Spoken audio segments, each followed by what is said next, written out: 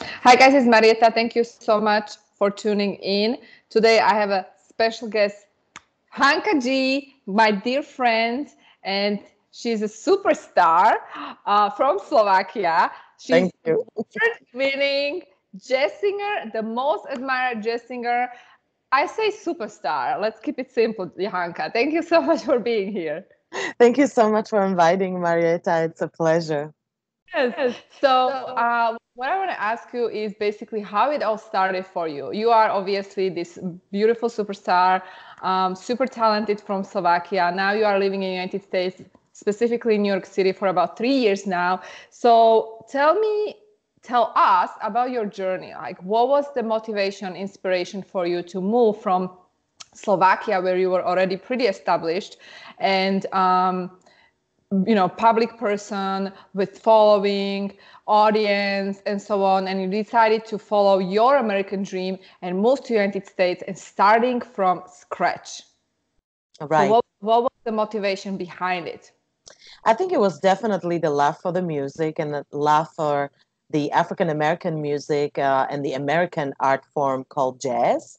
Uh, jazz gospel music and a blues music. So i really wanted to follow the roots of this music and and uh, come to America and learn from the best people and from learn from the uh, oldest people or the elders. You know, where I can um, get better. I can understand the purpose of this music, and I can work the, with these musicians. I think, uh, especially Slovakia is a small country, so it gives you a certain limits, and then you have to figure out uh, where can you move and and of course i went to the source of this music and the source of jazz and, and this particular music is, is united states so, so, your dream was basically to move to make it happen in the US because you want to spread your talent, right? And you want to go back to the source because obviously there are more options, more opportunities available for you. So how was the journey? Like since you moved to from Slovakia to United States, how was the journey for you? Like how it tell us like how was the experience? Because it wasn't easy. I know that for sure. Right. Right.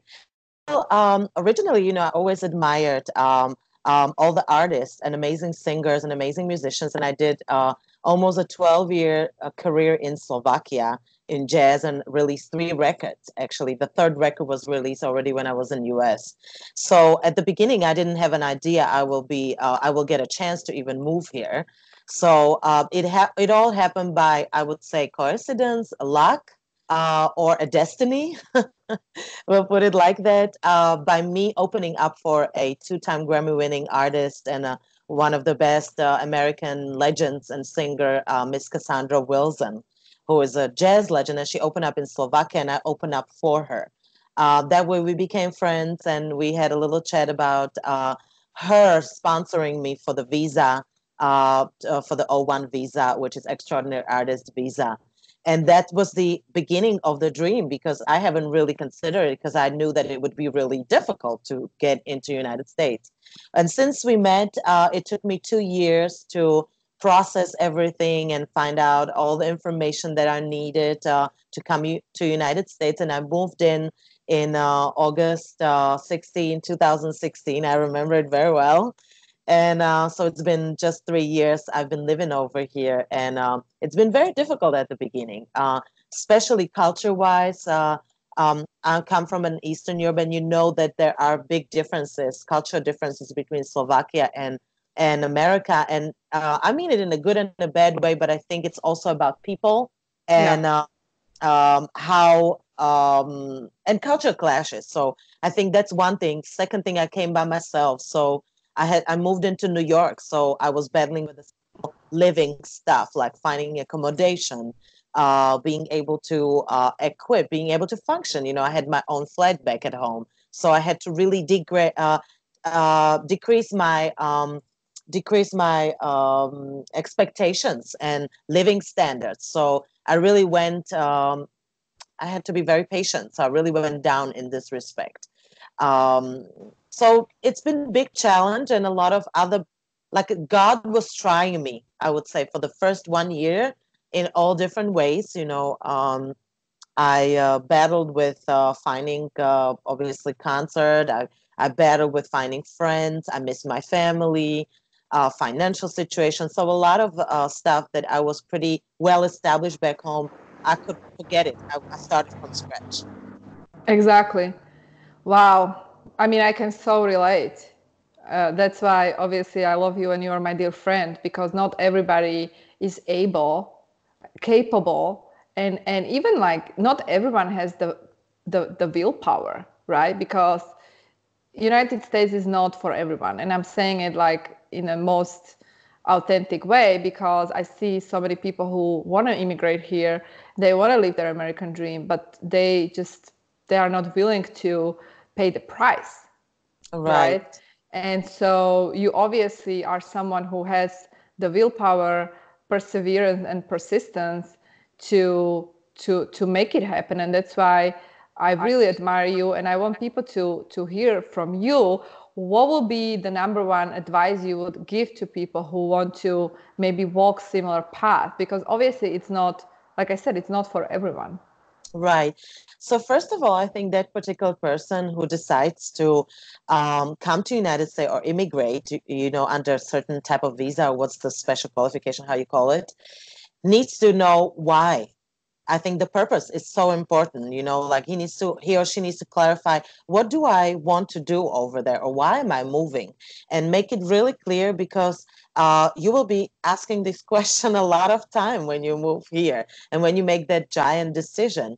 Um, then another thing would be, am I uh, ready to give up so many comforts uh, that I had back home? Am I ready to start from the scratch? And do I have a good patience?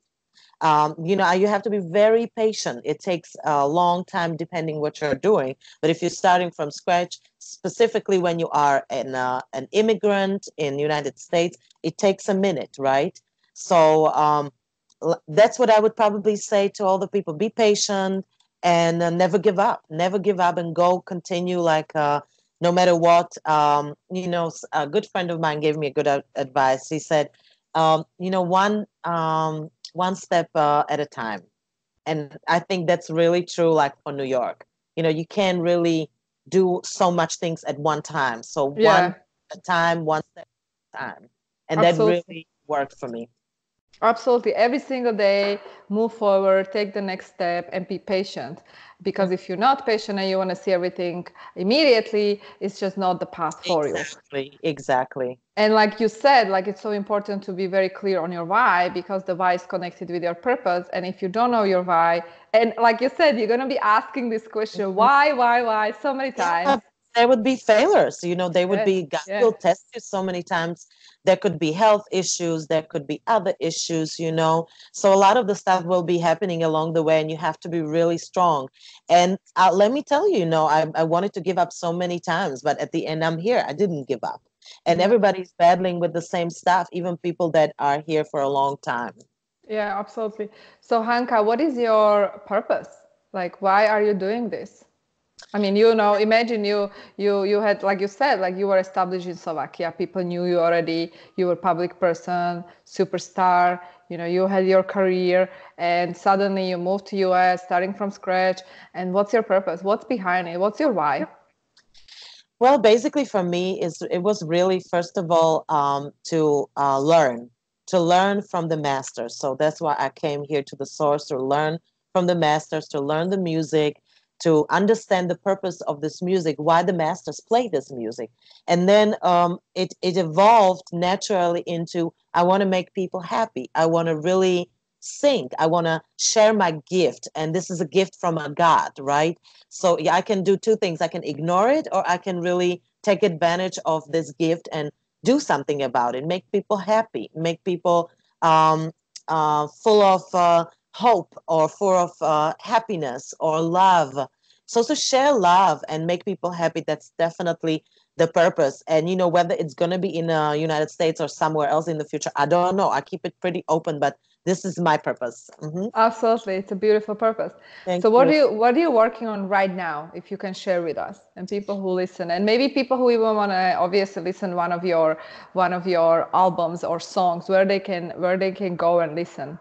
Yeah, definitely. Um, I recorded three records, and you can uh, search for two of my records uh, um, on all the different channels. You know where they sell the music. Uh, um, you can you can look through. Um, I guess I can't mention any names, right? Or iTunes, Spotify. iTunes, yeah, totally. iTunes, Spotify, YouTube. Yeah. Like I have seen a video. It was just type in Hanka G, which is H A N K A, and you'll find me. And um, on Instagram, uh, Facebook, and Twitter, you can follow me at Hanka G Singer. Mm-hmm. Um, mm-hmm. That's my name, and of course, I'll, uh, you can also reach out to me if you want to share a feedback. How did you like my music? I'll be really happy to hear back so, from you. So, what are you working on right now? What are your projects? If you can, right. if you want to share with us. Yeah, absolutely. So currently, what I'm working on is I'm finishing up uh, my autumn tour that's going to happen in uh, Slovakia, major, uh, mainly in Slovakia, but also in Spain. And I'm planning some more concerts. Uh, so I'm going to bring two really great musicians, both award-winning musicians from United States. Uh, it's going to be a rhythm section, so bass player and uh, drummer. Mm-hmm. Um, it's going to be Michael Bowie and Terrell Alexander, and I'm going to pair them up with my long-term friend and composer and collaborator Andre Krajniak, who is a pianist, and we will uh, play uh, five concerts together um, in Slovakia and one in Venice in Spain, which I'm really looking forward. It's one of the most prestigious clubs over there. And uh, then I'll continue uh, with more concerts from a project called Walt Whitman, where we have recorded a record with my friends last year in New York in a studio, a tribute to the poet, American poet Walt Whitman, uh, and his poetry sink into the music. So that's my shortest plan. And of course, I'm looking forward to see my family in Slovakia. And I'm working continuously on getting more concerts and festivals in the United States as well. So if people want to see you uh, in New York, where, like, how do you typically announce, like, if they want to come and, and hear you out? Definitely. Great question. They can follow me on Bands in Town mm-hmm. or check my website. So Bandsintown is the best application. As you know, you can look up your artists over there and follow them. And every time they announce a concert, mm-hmm. you get a notification uh, by the application on your phone. So they can find me at the Bandsintown, follow me, and I announce all the concerts over there, or at the website uh, www.hankag.com. Perfect. Hanka, do you think you are living your American dream? Uh, good question. I think I'm uh, about to, I'm about like to start a really good start, you know, because the first three years had been really shaky and getting to know everything and i think i'm finally like stable. I understand the culture and i understand the moves and now i feel like yes this is like the full force uh, that i'm starting to um, that i'm starting to like work on it with more you are you, you are about to entering the phase of uh, the american dream. Yeah I can I can see that for you. well, I absolutely enjoy talking to you. Thank you so much for coming and inspiring my audience. And um, I will definitely share your link so people can follow you and and they can listen to your music uh, and your beautiful voice, which is definitely a gift from God. Uh, Thank you for shining your light. You are amazing. And guys, thank you so much for tuning in. For those who are new to my channel, make sure to subscribe and I'll see you in the next video. Have a great day, everybody. Thank you.